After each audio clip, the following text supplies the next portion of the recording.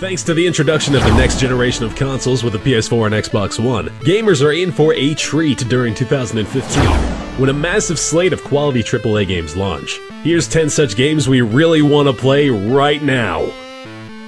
During Nintendo's E3 2011 press conference when the Wii U was first revealed, Nintendo showcased a tech demo of a Zelda mock-up to showcase the console's graphical capabilities.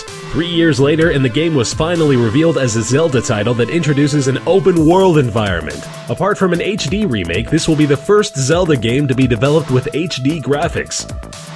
Directed by Metal Gear Solid creator Hideo Kojima and Guillermo del Toro, with The Walking Dead's Norman Reedus as the protagonist in a Silent Hill game. Yes, please.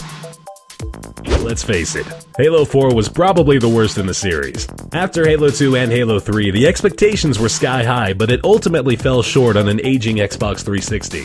Halo 5 Guardians, however, appears to be a breath of fresh air for the franchise on the Xbox One that begins the Reclaimer trilogy.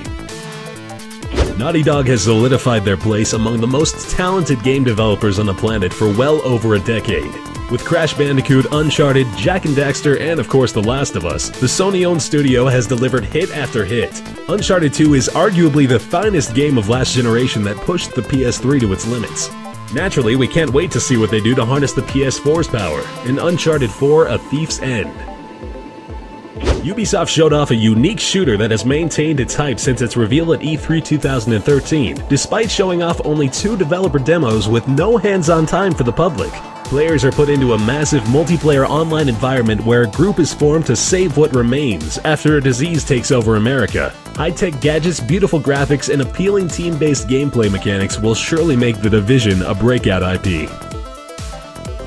Fans have been drooling at the prospect of Battlefield and Mirror's Edge developer DICE creating a Star Wars game. Battlefront 3 will utilize the impressive Frostbite 3 engine and it will be DICE's interpretation of what Battlefront should be. We got an exciting, albeit short glimpse of exactly that during E3. 2015 can't come soon enough. Demon's Souls is highly regarded by the gaming community. Some say it's even the best PS3 game ever made. Spiritual successor Dark Souls and its sequel provided enough satisfaction until the reveal of Bloodborne. From Software, which is going back to PlayStation exclusivity with the game, has shown off some impressive gameplay that introduces a new storyline and ultimately a new IP.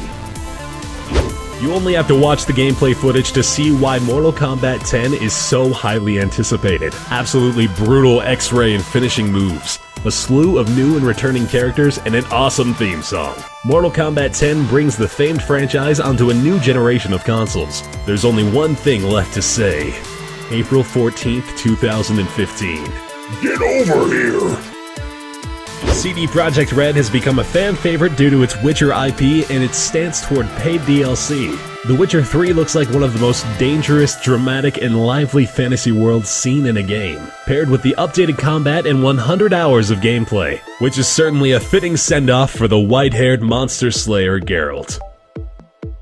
Rocksteady became an instant hit back in 2009 with Batman Arkham Asylum, satisfying and swift combat, an arsenal of Batman's gadgets, and a living city in the equally impressive sequel. It's been nearly three years now since they've made another installment, but that comes to an end in 2015 with Batman Arkham Knight. Scarecrow returns to Gotham City to join Batman's enemies in an effort to finally kill the Dark Knight. Everyone's favorite masked hero has a playable Batmobile this time around, though which should be pretty fun, right?